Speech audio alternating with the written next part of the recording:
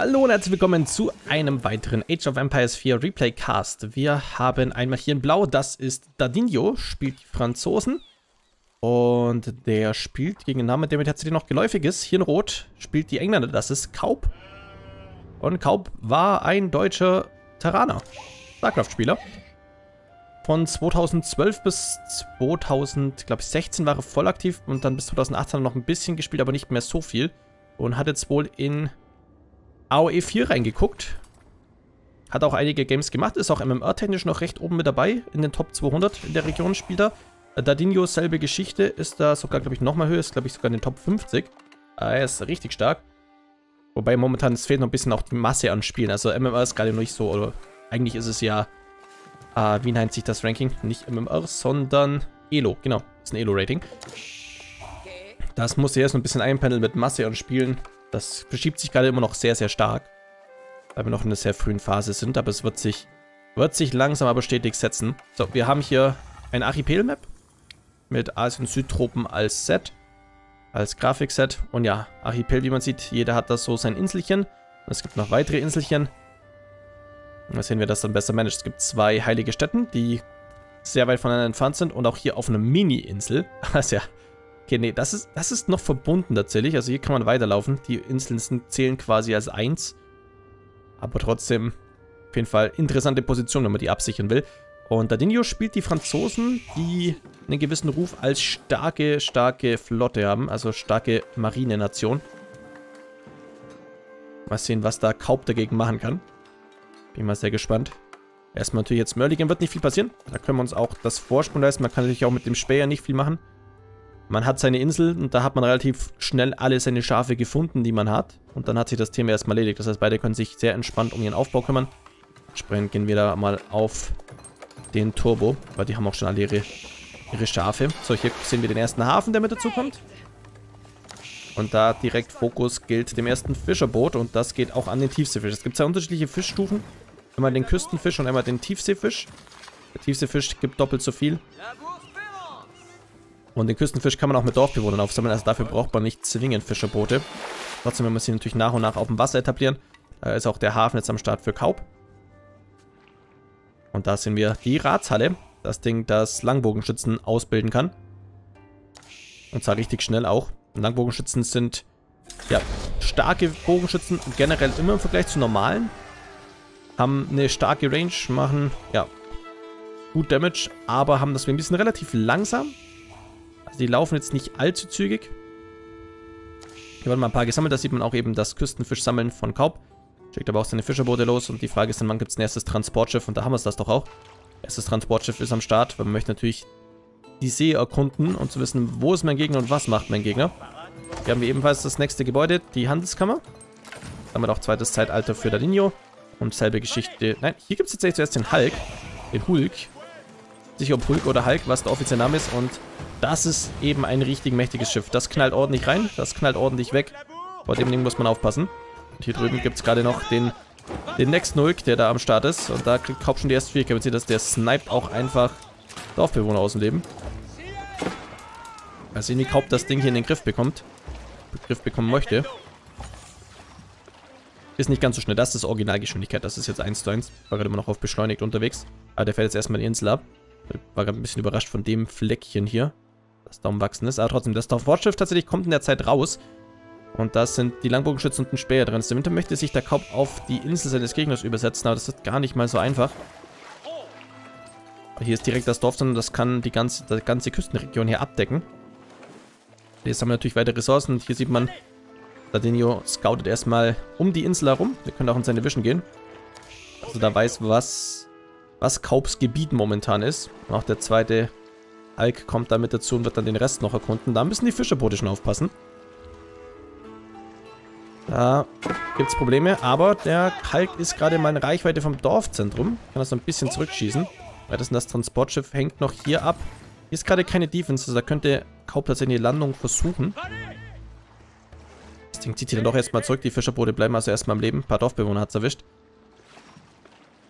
Und da sehen wir, die Fischerboote gehen weiter auf die Reise, sammeln mehr und mehr von der Map ab. Und da kommt einmal die Landung. Oh ja, da kommt gleich ein Hulk, aber nicht rechtzeitig, bis die Langbogenschützen draußen sind. Die kommen also erstmal aufs Feld. Ah, die werden das Schiff nicht tot kriegen. Wir müssen selber aufpassen. Jetzt mal kurz auf den Späher, der ist direkt down. Die Langbogenschützen kriegen jetzt auch noch kurz Argument. Das Schiff hat nicht ganz die Range, um da einzutreffen. Das heißt, die Langbogenschützen sind mal drin. Und der, da hat Dadinho nichts. Also er hat keine, keine Einheiten. Das heißt, der Trupp hier drin kann schon mal einiges machen. Problem ist, er ist natürlich nicht gut darin, Gebäude anzugehen. Gegen Einheiten kein Problem, aber gegen Gebäude wird es eher schwierig. Das heißt, er muss gucken, dass er eigentlich an die, die Dorfbewohner seines Gegners rankommt. Und der Hulk hat ein bisschen mehr Schaden abbekommen. Das Transportschiff lebt tatsächlich auch noch. Und ja, hier wird es eben ein bisschen Dorfbewohner gejagt. Das ist so das Hauptziel. Und die Langbodenschützen sind für sowas ziemlich gut. Müssen eben aufpassen, nicht zu nah ans Dorfzentrum ran. Und deswegen wurde auch hier die Mauer gebaut, dass man eben das wegspart und quasi Kaup muss zwingend am Dorfzentrum vorbei. Zumindest lässt sich einfach stehen und macht ein bisschen Ärger. Ja, gibt es hier den Hulk, der da sehr aggressiv reingeschickt wird und die ballern auch gerade zu zweit das Haus aus dem Leben. Das Transportschiff lebt noch, wird repariert und mit den weiteren Bogenschützen wird das Schiff nach und nach in Brand gesteckt. Wie man sieht, das Schiff wird nicht mehr lange überleben. Das wird fallen. Der Hafen schafft es nicht, das Fischerboot am Leben zu halten. Und das Ding, der Hulk, wird fallen. Sein Kollege zieht sich erstmal zurück, wenn das die Langbogenschützen ja, battlen sich immer noch und sorgen auf jeden Fall für einiges in Lage. Jetzt ist mal die erste Einheit draußen. Der erste königliche Ritter ist da aus den Stallungen hier. Aber da sieht man auch, da gab es noch das Upgrade für die Langbogenschützen. So, und die haben zwei Fähigkeiten. Einmal die Fähigkeiten zum Pfähle aufstellen, einmal die Fähigkeiten zum Heilen. Also aktuell, diese Landbogenschützen sind wirklich noch richtig nervig gerade. Hinten ist noch ein Dorfbewohner, das irgendwie darauf durchgeschafft hat. Ist auch Doppel, Doppelhafen am Start für Dadinho. Aber er wird auf jeden Fall von Kaup die ganze Zeit belagert. Und wie man sieht, das Haus, es dauert, aber es nimmt so nach und nach auch Damage. Trotzdem, es blockiert natürlich die Economy. Da wird jetzt sehr viel Gold gesammelt und natürlich auf mehr Reiter auch gehofft. Ja, das sind, die Hulks hier, fighten jetzt gegen die Galeere. Ja, die Galeere hat einfach, also die Hulks sind einfach so krasse Early Game Schiffe. Die hat Frankreich halt so schnell mit dabei.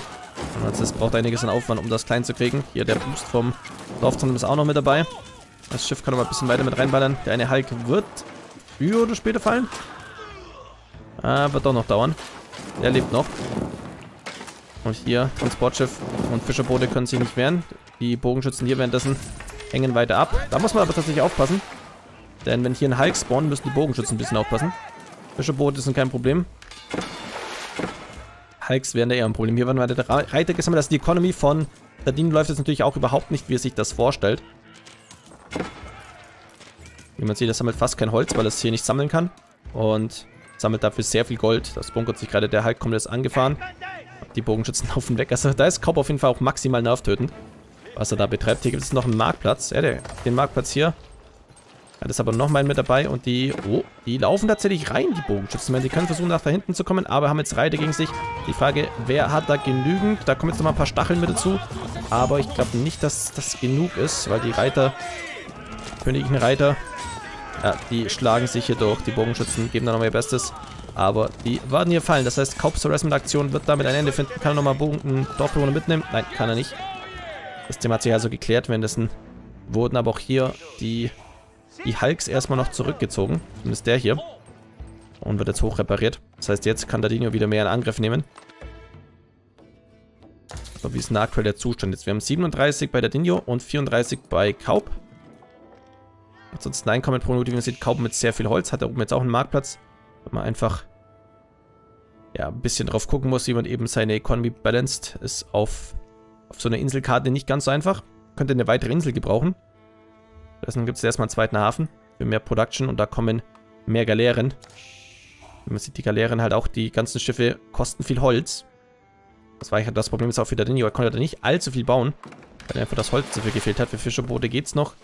Aber so ein Hulk, ja 300 Holz, 240 Gold. Günstig sind es jetzt nicht unbedingt. Aber das war jetzt wieder mehr, denn jetzt hat er eben das Holz verkommen. Da kommt auch noch das Upgrade, damit man die Bäume schneller fällen kann.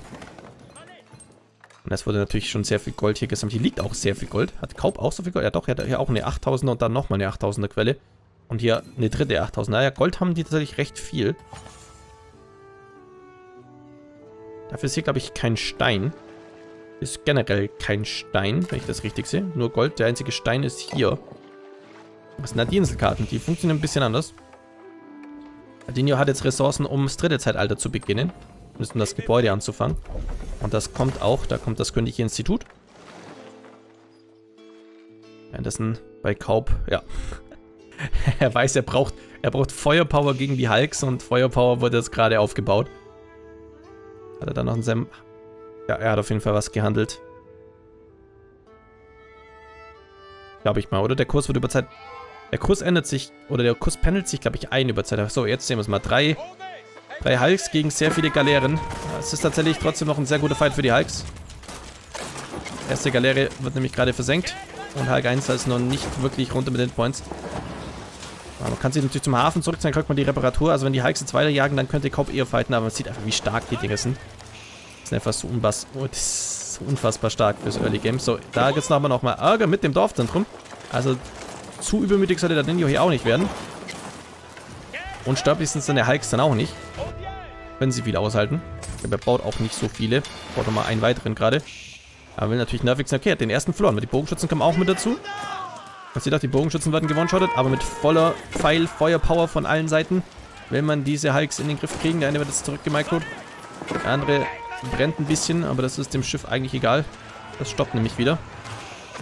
Und hier hinten Okay, hinten sind die... Oh ja, da ist, da ist ein Brand. Habe ich gar nicht mitgekriegt. Entschuldigung, ich war so auf die Hulk konzentriert, dass da hinten Reiter angekommen sind tatsächlich. Und die schlachten sich hier gerade noch ein paar Dorfbewohner durch. Währenddessen gibt es den Hulk-Fight auch, aber der Hulk-Fight tatsächlich, den kann Koppitz eher gewinnen, weil er die Reparatur von seinem Hafen aber dabei hat. Also die Hulks werden da früher oder später fallen. Es versenkt noch ein paar Galeeren, aber die Hulks sind jetzt alle down. Und die Reiter müssen sie auch zurückziehen. Es sind sehr viele Bogenschützen noch da, die da versuchen, ihre Position auszunutzen. Und die Reiter trauen sich das dann doch nicht ganz zu. Und jetzt kann Tatsächlich kauft man wieder aus seiner Base raus, wenn das ein Dadinho... Er baut noch an seinem dritten Zeitalter, das wird in Kürze fertig. Hat jetzt nochmal einen weiteren Hulk auf dem Feld. Aber er war gerade eben bei 3 bis 4. Er lädt auch sogar zur Sicherheit seine Reiter nochmal ein. Also hat er doch ein bisschen Respekt vor der Defense seines Gegners, was da alles noch rumstehen kann.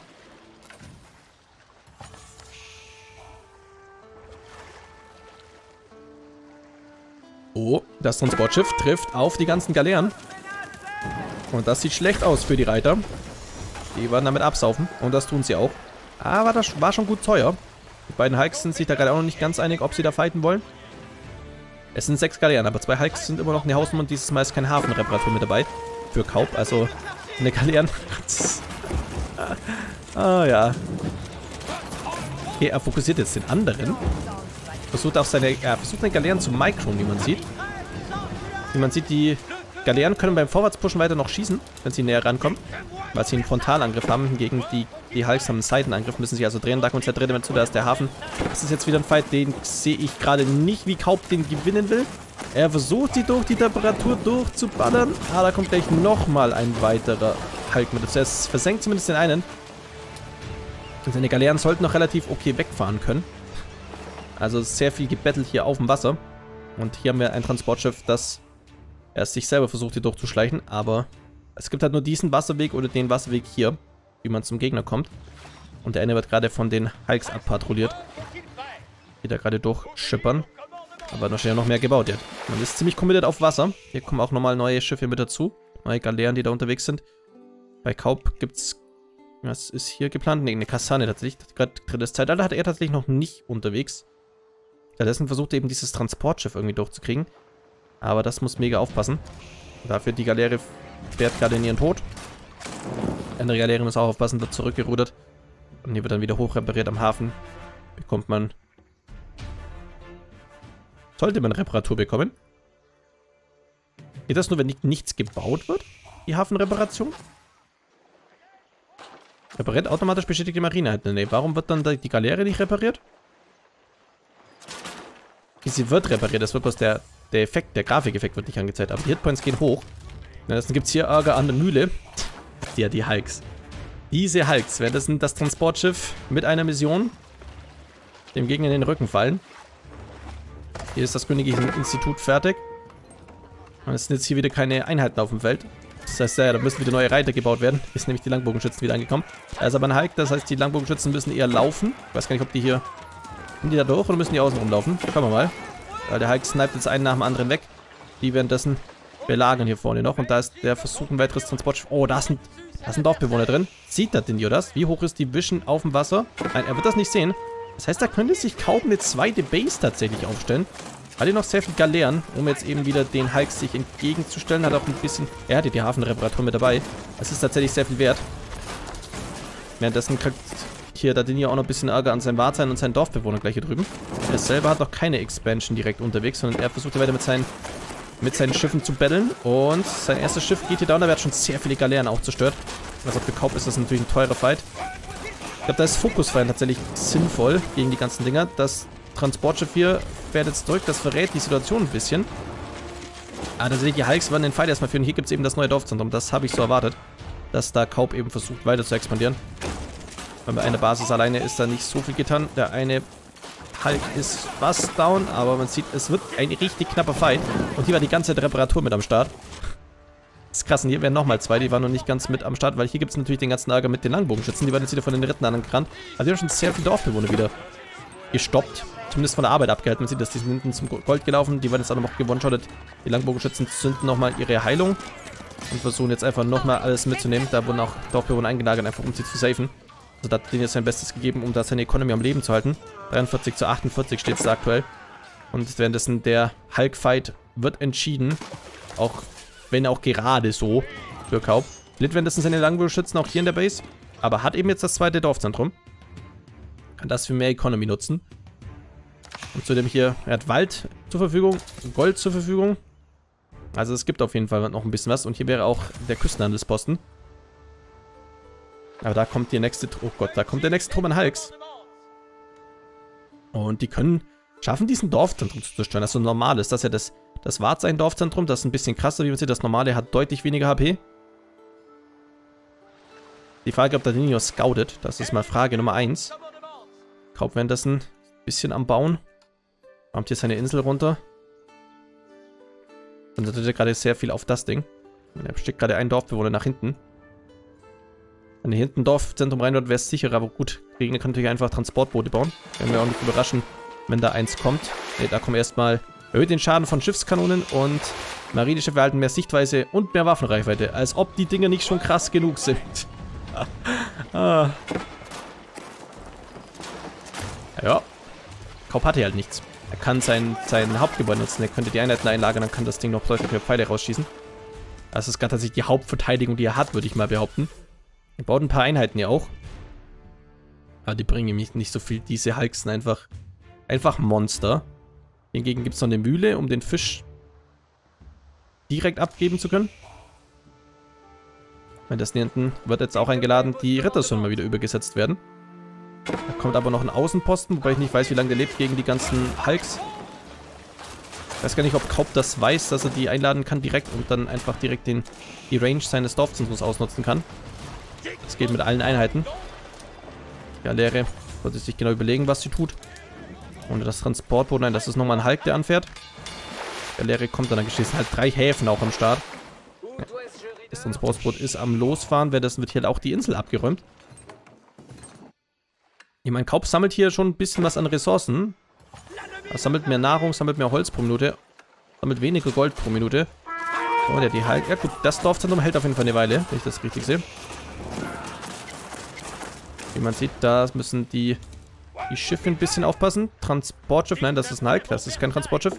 Hier ist ein Außenposten, aber der, der schießt natürlich von selber nicht, weil er kein Upgrade hat. Das heißt, hier kommen gleich die Ritter vorbei und die sind jetzt drin. Aber Kaup hat Einheiten dagegen, auch ein paar Speerträger. Die Ritter sollte tatsächlich in den Griff kriegen. Währenddessen kommt hier still und heimlich der weiße Turm, was ein Bergfried ist. Und dann hat er das hier deutlich besser abgesichert, wenn der fertig ist. Und dann hat er auch das nächste Zeitalter. Also damit kann er sich tatsächlich recht gut absichern. Und hier, ja, Speerträger gegen die Ritter. Die Ritter müssen dann selber ein bisschen aufpassen. Ich glaube, die haben aber, ja, die sind Stufe 3, die Speerträger nur Stufe 2. Die Dorfbewohner laufen jetzt auch noch panisch weg. Die Bogenschützen ballern drauf, was irgendwie geht. Weiß nicht, wie sicher sich Dadinio seine Situation gerade fühlt. Hat auf jeden Fall die eine Basis, die er finden sollte, noch nicht gefunden. Da werden halt trotzdem diesen Belagerungsring an Schiffe jetzt aufgebaut, um die Basis von von Kaup herum. Der kriegt auch gerade noch sein, sein Transportschiff angezündet. Und dann rennen dann die Ritter einfach weg und werden eventuell wieder eingeladen. Weil das ist ein Fight, den werden sie ohne, ohne die Unterstützung ihrer Schiffe nicht so wirklich schaffen. Da sind die Dorfbewohner auch noch mitgelaufen. Und hier wird tatsächlich, ja, da werden noch Gebäude tatsächlich belagert. Cobb hat jetzt die Rettezeit erreicht und die Schmiede wird ihm gerade weggefahren. Die Frage ist natürlich jetzt, Dino wird sich eigentlich schon denken, wo hat er die Ritterzeit erreicht? Weil er ist ja gerade durch die ganze Base des Gegners gefahren. Und das Gebäude hätte er sehen müssen. Mit dem Cobb in die Ritterzeit kommt. Ja, das ist eben dieser weiße Turm hier. Der das alles irgendwie defendet. Da kommt jetzt noch Holzmüsse, also Kopf verlagert auf, verlagert auf jeden Fall seine Economy auf die andere Seite. Und hier sind seine Gebäude ein bisschen in Gefahr. Und da haben wir jetzt auch... Ha, da ist die Galease. Und das ist halt, ja, wie man sieht, die hat mehr Range als das Dorfzentrum. Die kann das einfach fröhlich belagern. Das ist ein Problem. Also, Hope ist da noch lange nicht im Trockenen. Sondern da wird es noch mehr Ärger geben. Das Dorfzentrum kann sich wehren, aber nicht endlos, weil es nicht von allen Seiten beschossen wird. Und man kann es auch reparieren. Ähm, es sollte jetzt wirklich, ja, einladen wäre schön. Das Ding könnte jetzt zu viel mit Damage raushauen. Ah, jetzt kommt zumindest mal die Reparatur. Und das Ding hält sehr viel aus und ja, jetzt wird aber weiter geschippert und die Flotte einfach, die Flotte, die der Dingo hier hat, ist ziemlich absurd. Hat auch 129 von 130. Das sind 95 von 100 bei Kaub. Und tatsächlich, er hat, wie der Dingo das Ding da drüben immer noch nicht gesehen hat. Er klammert sich halt so an die Insel hier. Ja, das werden hinten noch ein paar Schiffe gebunkert. Aber die machen ja halt nicht viel. Kommen jetzt gerade die Speerträger mit nach vorne, aber die machen ja gar nichts. Ah, doch, kommen die bis da? Ist das so viel Küste, dass die... Nee, die kommen mit ihren Fackeln gar nicht erst ran. Das wird nicht funktionieren. So, da ist nochmal so ein Bombardenschiff und da kommt nochmal eins. Und da wird wahrscheinlich noch mehr gebaut und da kommt noch ein Upgrade für die, für die Fischerei. Ich meine, die Basis, wie man sieht, gibt von der Dino jetzt nicht mehr viel her. Ja, doch, er hat auch ein, ein Goldlager hat er noch, aber er hat trotzdem schon sehr viel gewütet. Und er ballert jetzt hier einfach drauf und die Schiffe von Kaub können nicht so viel machen. Aber das Schiff ist inzwischen low. 300 HP noch. Von einstmals sehr, sehr vielen. Ja, das ein, immerhin hat Kaub noch eine funktionierende Economy, teilweise zumindest. Also er kriegt Holz und Nahrung. Gut, was man auch braucht für die Schiffe. Für so viele Schiffe bräuchte er noch ein bisschen mehr Gold, aber ich glaube Gold er hatte das Ding noch, was er gerade runterarbeitet und dann noch das hier. Und da sind auch, wieder die Ritter angekommen. Das Transportboot war mal wieder hier. Und auch mit Begleitung. Die knallen gerade den Außenposten aus dem Leben. Ja, müssen jetzt sehr nett reagieren. Ja, das sind die Flotte steht immer noch. Die Seeblockade zwischen Kaubs beiden Basen. Also der hat trotzdem noch die Oberhand hier. Man sieht es auch in den Punkten, ziemlich deutlich sogar. Kaub bemüht sich einfach am Leben zu bleiben mit den Dingen, die er hat. Ah ja, er hatte keine Oh, ja, die Schiffe. Die Schiffe im Weit. Da wird mal tatsächlich eins von den Schiffen von der Linie draufgehen. Unten währenddessen gibt es auch noch die Unterstützung hier. Einfach weiter draufballern. Die Ritter haben es jetzt mal zurück. Nein, wurden wieder ausgeladen tatsächlich. Überraschenderweise. Jetzt mal kurz aufs Transportschiff. Aber gegen Bogenschützen nennt das auch einiges aus. Und hier wird einfach weiter gefightet. Und ein Schiff nach dem anderen versenkt. Also Dinio hat auf jeden Fall immer noch hier die volle Belagerung aufrecht. Also es ist gar nicht mal so wichtig, dass er die Economies des Gegners nach wie vor nicht gefunden hat, die neue. Wenn ich hier immer noch so wüten kann. Ich meine, quasi die Basis des Gegners ist umstellt. Die Main Base. Die Ersatzbasis. Da kommt jetzt noch ein... Hm, da kommen neue Hafen hier tatsächlich. Oh, Brander. Das könnte noch was werden. Tatsächlich. Der Dino hingegen hat es genügend Ressourcen, um aufs vierte Zeitalter zu wechseln. Wollen wir noch mal ein paar Häuser hin, dann ist er auch bei 200. Hat seine Insel halt fast zugebaut. Und ist es das? Ja, da kommt die Artillerieschule tatsächlich. dann geht's aufs letzte. Dann kann er nicht Karaken bauen. Die sind auch effektiv gegen Gebäude, die sind auch mega teuer. Tatsächlich hat er so anscheinend überhaupt keinen, momentan keine, keine Priorität, um irgendwie zu expandieren, auf eine andere Insel zu gehen, sondern nur, ich habe meine Insel, ich habe die, die Seehoheit, ich habe meinen Gegner umstellt. Ich mache einfach so mein Ding. Baut mit 15 Leuten den, das nächste Zeitaltergebäude. Und wird natürlich auch fertig kriegen. Das sind hier Bewegungsgeschwindigkeit. Es gäbe es noch Rüstung. Das wäre vielleicht ganz interessant für Kaub, das Upgrade. Balliste für Angriff. Das wäre, glaube ich, auch nicht verkehrt. Und das hätte sich wahrscheinlich auch schon gelohnt, der Schiffsbauer. Aber die Brande von der Seite. Die haben, glaube ich, gerade. Haben die gerade was versenkt? Ich bin mir nicht sicher. Auf jeden Fall werden die gerade selber beschossen. Das soll jetzt der Ding aber auf jeden Fall verdächtig sein, dass das ein Gegner von der Seite mit Schiffen kommt. Da haben wir die Wander. Und ja, die knallen ordentlich rein. Eins wurde versenkt, das andere schwer beschädigt. Ja, das hier waren die bekämpft, das ich. Da kommt der Ausbruchsversuch und da die, die Hulks hier gerade nicht mitgekämpft haben, kommen die, die Schiffe hier doch ein bisschen weiter vorwärts. Da sind jetzt auch eigene Hulks mit dabei. Also inzwischen kann da Kaub mitziehen und kann die Feuerpower ein bisschen angleichen. Da hat währenddessen nochmal ein Problem mit dem Ding hier drin, das da einfach reinballert. Hier wird das ganze Gold abgefarmt. Aber tatsächlich, Dadinho verliert erstmal diese Seeschlacht. Die Brander haben nochmal eingeschlagen, aber er hat jetzt hier seine eigenen Dorfbewohner rangebracht. Wenn er wüsste, dass er sich die Insel gerade mit seinem Gegner teilt. Er hat das nämlich immer noch nicht gemerkt. Ähm, das wird jetzt gleich ein unangenehmes Aufeinandertreffen, nachdem, wo er vorhat, sein Dorfzentrum zu bauen. Oder ob ich einfach nur eine Mine baut, um Gold zu farmen, weil er braucht einfach mehr Gold. Oh. Ja, jetzt kriegt er das mit und die Festung lohnt sich gerade, weil sie die Dorfbewohner aufs Korn nimmt. Unten gibt es gerade auch noch Ärger. Das sind nur der Schiffe, die gerade aber Stück für Stück von Kauf abgefarmt werden. Und da hat jetzt der Ding auf einmal Problem. Jetzt merkt auf einmal, ach, der hat hier eine Base. Das, das ist nicht so gut. Das ist wahrlich nicht so gut. Plötzlich wird der Dinjo, weil man sieht es auch, er ist nur noch bei 184, äh, bei 84, inzwischen 112 bei Kaub. Was die Versorgung angeht, hier die Ritter werden jetzt auch von den Schiffen aufs Korn genommen und das sind noch ein paar angeschlagene Schiffe bis das eine, die Galeasse, ist halt im Direktfight nicht so geil. Die Frage, wurden schon, wurden die großen Dinge schon gebaut? Gibt es schon eine? Nein. Stattdessen gibt es hier mehr Hulks. Und hier wird jetzt, Stallungen werden hier hochgezogen. Also er mag seine Reiter in Kombination mit seinen Schiffen. Da Dinjo. Ja, hier ist einfach die Economy am Laufen die ganze Zeit. Und jetzt ist, wird halt hier alles schifftechnisch hier abgeräumt. Also da hat Kaub die Nase vorn, kann jetzt auch mit seinen Fischerboden tatsächlich wieder auf die Reise gehen. Und steht jetzt einfach deutlich besser da als sein Gegner. Hier wird einfach versucht, das Gold natürlich anzugehen. Ich war gerade Kaub gemerkt, dass sein Gegner hier angekommen ist. Hat er das mitbekommen, dass das Alarmsignal kam? Seine Schiffe könnten eine Reparatur vertragen. Seine Hauptinsel sieht ein bisschen angeschrammt aus und sein Gold hier wird natürlich nicht ewig halten. Wir haben noch Häuser im Bau, aber die braucht er gerade nicht. Das gibt es hier nochmal einen Außenposten. Und ja, das nächste... Okay, ja, hier ist der Versuch, einen Außenposten hochzuziehen, aber ist nicht ganz in Reichweite vom Turm, vom Weißen Turm, um das zu beschützen. Das heißt, die Dorfbewohner leiden da gerade ein bisschen. Stattdessen gibt es jetzt hier hinten nochmal ein Haus. Man könnte hier einen Außenposten hinstellen, wo es eben ein Radius ist. Da kann man nämlich sich die Reiter auch vorknüpfen. Ah nein, ich glaube, er will das trotzdem noch durchziehen. Aber es sind direkt die neuen nächsten Reiter gespawnt. Da ist halt sehr viel los. Die Reiter laufen jetzt wieder ran und der Turm denkt sich, jawohl, ein paar Kills farmen. Läuft bei mir. Da sammelt sich die nächste Flotte für den Jo.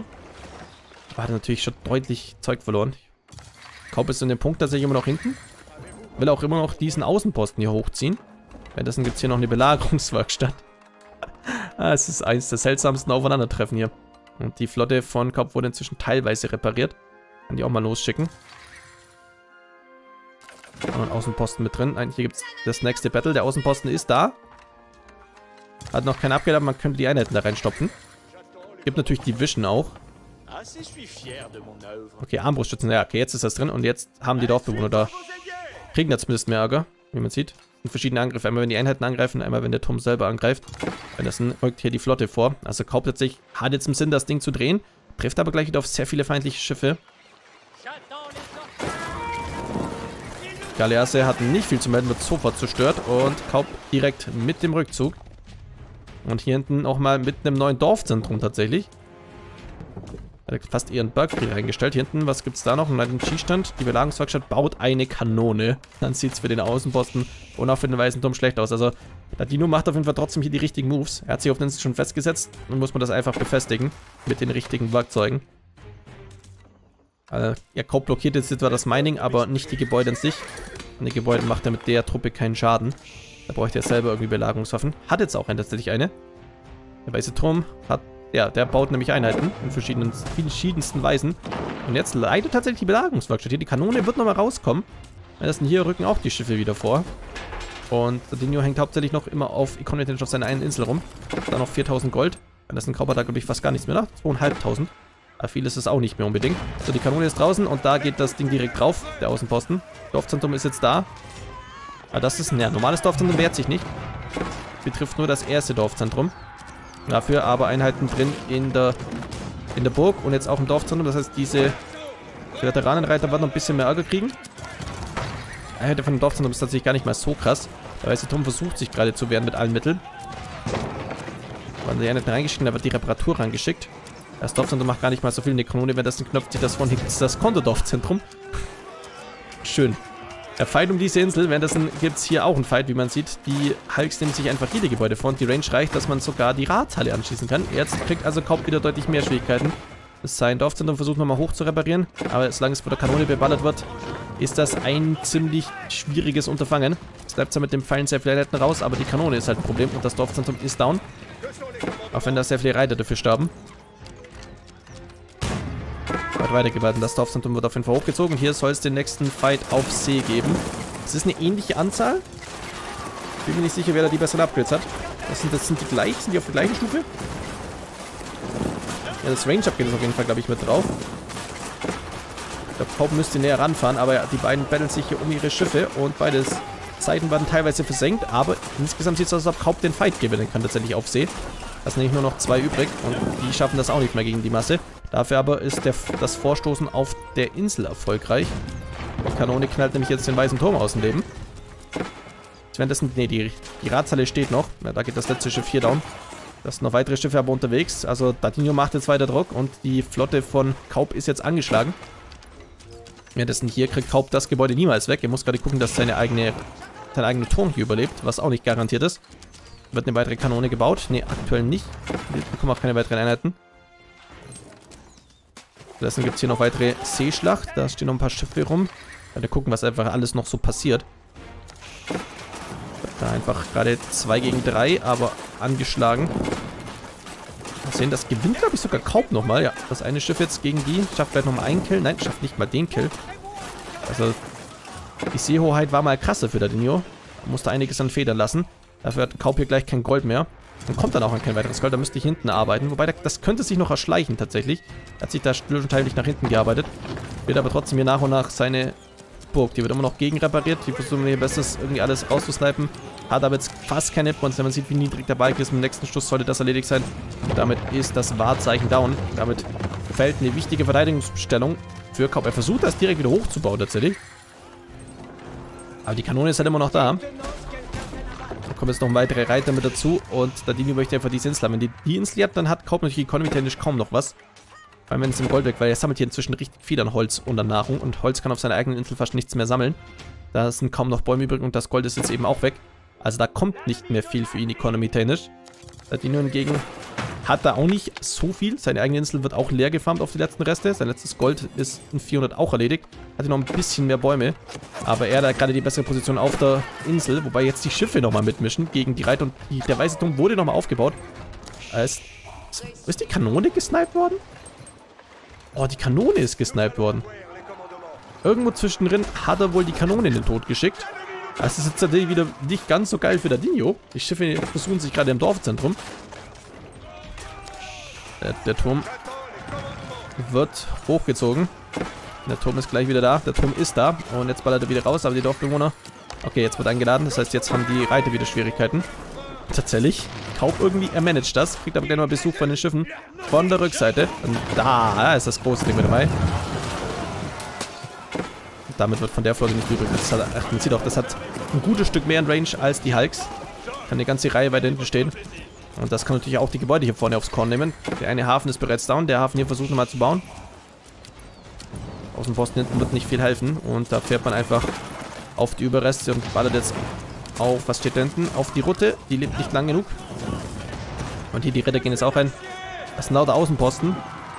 Die geben natürlich den Bonus, wie man sieht. Diesen Attack-Speed-Bonus. Und da kommt jetzt... Oh, da kommt der Palast tatsächlich auch noch als defensives Wahrzeichen. Das ist ein weiterer Bergfried, der da quasi errichtet wird von Kaup. Aber den muss er erstmal hochziehen. Das sind Ritter überall. Und die Türme machen nicht viel. Der eine, doch die beiden Türme schießen jetzt inzwischen, weil sie befüllt sind. Kriegt er das Ding durch? Es sind sehr viele Dorfbewohner da dran, aber nein, es ist ihm gerade so riskant, dass lädt er die lieber nochmal ein und versucht die damit zu retten. Man sieht auch die Engländer Dorfbewohner, die fighten nicht Nahkampf, sondern die fighten mit Bögen. Es wurden nochmal einige hier tatsächlich eingelagert. Das hängen jetzt 20 Dorfbewohner hier ab und hinten auch nochmal vier. Das heißt, die Ritter gerade tun sich schwer und werden von allen Seiten vom Pfeilen beschossen. Aber man sieht, die Pfeile machen nicht so viel Schaden. Währenddessen der weiße Turm kriegt wieder mal Ärger. Die Basis wird auch noch weiter belagert. Wo sind die Schiffe hin von... Ah ja, die Schiffe haben es jetzt hier aufgestellt. Dachte mir gerade, wo sind die Schiffe hin? Aber hier ist nochmal eine Goldmine, die Kaup eigentlich haben will. Aber die wird er nicht großartig kriegen. Da wird stattdessen weggeballert. Das Ding knallt. ja gut. Äh, die Dorfbewohner leiden. Die Bogenschützen Gut, oben, das sieht besser aus mit den Schiffen, weil die Bogenschützen machen in dem Fall wirklich nicht viel. So, wie sieht's hier aus? Ein weiteres Mal fällt der Turm. Dafür das Ding... Ah, es braucht noch. Ach, oh, es wird schon runtergeschossen. Es ist wie eine Kanone mit dabei, man hört es gerade. Ah, es kommt eine zweite Kanone. Ja, der Berkshire Palast wird wahrscheinlich nichts. Hier hingegen der Fight, der sieht auch nicht so gut aus. Haupt hat tatsächlich jetzt den Preazel erreicht, das heißt, er konnte das Ding fertigstellen und es sofort befüllen, aber es wird halt auch gerade sofort sofort befeuert von mehreren Kanonen. Und ja, da fallen jetzt natürlich auch mehr und mehr Dorfbewohner. Das Ding wird er nicht halten können. Die Flotte wird dann... Ah, die Flotte setzt sich gerade nochmal durch. So wie es aussieht, weil das Ding macht jetzt nicht so viel Schaden gegen Schiffe. Aber trotzdem, die Economy von Kaup ist ziemlich ruiniert. Ja, da hat er auch das Spiel verlassen. Das ging nicht weiter. Dadinho hatte die ganze Zeit eine recht dominante Position, bis er dann diese Expansion sehr verschlafen hat. Aber hat sie dann gefunden und hat sie dann wichtigerweise mit den Kanonen belagert, um die Gebäude von Kaup kaputt zu kriegen, Stück für Stück. Die Wahrzeichen da zu zerstören. Aber einfach, ja, Kaup ging eben hier jetzt nach und nach die Economy aus. Er konnte sie auf Dance nicht halten, wusste dann, das funktioniert so nicht mehr. Aber ja, interessantes Match. Die Franzosen, wie gesagt, auf Wasser sind ziemlich krass. Also da der Kopf von Anfang an nicht die schönste Ausgangslage. Das ist mir. Bis zum nächsten Mal und ciao.